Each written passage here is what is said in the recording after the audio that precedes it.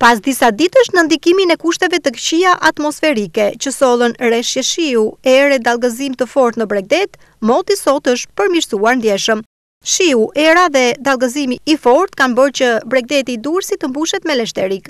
Gjatë sezonit dimëror me shi dhe erë, askush nuk i kushton vëmendje asaj që përgjatë bregdetit mbetet, por tani që moti është përmirësuar, banorët përballen me një panoramë aspak të këndshme. Në zonën e Vollgës deri në Currila, leshterikët kanë pushtuar gjithçka. Kjo është panorama që paraqitej sot në këtë ditë me diell në Durrës, ku afër bregut shikon vetëm leshterikë. Me afrimin e ditëve të ngrohta dhe me diell, të gjithë e pëlqejmë që të bëjmë një shëtitje në breg të detit, por panorama që shfaqej sot ishte kjo.